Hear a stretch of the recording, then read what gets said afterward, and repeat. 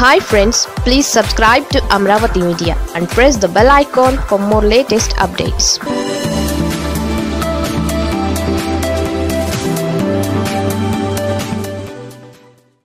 పోలవరంలో రోజుకో కథ. అసలు ఏం జరుగుతోంది? ఏపీ ప్రజలకు ఎంతో కీలకమైన రాష్ట్రానికి ఎంతో ముఖ్యమైన ప్రాజెక్టుగా విభజన చట్టంలో పేర్కొన్న పోలవరం బహుళార్థ సాధక ప్రాజెక్టు విషయంలో ఏం జరుగుతోంది? అసలు ఇది ఎప్పటికి పూర్తవుతుంది? గతంలో చంద్రబాబు ప్రభుత్వం చెప్పింది నిజమా? లేక జగన్ చేసిన ఆరోపణలు వాస్తవమా? ఇవన్నీ కాకుండా రెండు వేల పంతొమ్మిది ఎన్నికల సమయంలో ఎన్నికల ప్రచారానికి వచ్చిన ప్రధాని మోదీ చేసిన ఏటీఎం అనే ఆరోపణలు అక్షర సత్యమా అనే విషయాలు మాత్రం ఇప్పటికీ తేలలేదు. చంద్రబాబు హయాంలో ప్రతి సోమవారాన్ని పోలవారంగా మార్చుకొని సమీక్షలు చేశారు. దాదాపు నలభై సార్లు ఆయన పోలవరం ప్రాంతంలో పర్యటించారు. నిత్యం దీనిని హైలైట్ అయ్యేలా మీడియాలను మేనేజ్ చేసుకున్నారు. దీంతో ఇంకేముంది? పోలవరం రెండు వేల పద్దెనిమిది చివరి నాటికి గ్రావిటీ ద్వారా నీటిని అందిస్తామని అప్పట్లో జలవనరుల మంత్రిగా ఉన్న దేవినేని ఉమా సైతం ప్రకటించారు. అదే సమయంలో టీడీపీ అనుకూల మీడియా కూడా ఎనభై శాతం పూర్తయిపోయిందని పేర్కొంటూ పుంఖాను పుంఖాలుగా వార్తలు రాసుకొచ్చింది. అయితే ప్రభుత్వం దిగిపోయి వైసీపీ అధికారంలోకి వచ్చేసరికి ప్రాజెక్టు ఇంకా పునాదులు పూర్తి కాలేదని పేర్కొన్నారు. ఇటీవలే గేట్లు బిగించారు. దీంతో అసలు ఎవరు చెప్పింది నిజం అనేది ఎవరికీ స్పష్టత లేదు.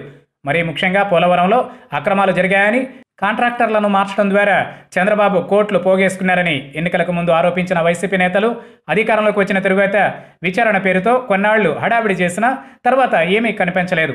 ఇక రెండు వేల పంతొమ్మిది ఎన్నికల సమయంలో ప్రచారం కోసం వచ్చిన అప్పటి ప్రధాని మోదీ కూడా చంద్రబాబుకు పోలవరం ఒక ఏటీఎం మాదిరిగా మారిందన్నారు.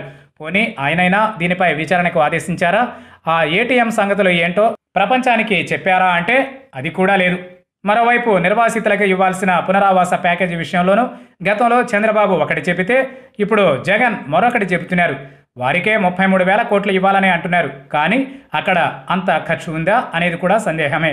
ఇక కేంద్రమే ఈ ప్రాజెక్టును నిర్మించాల్సిన అవసరం ఉంది కనుక ఇరవై రెండు వేల కోట్లు మాత్రమే ఇస్తామని కేంద్రం చెబుతోంది.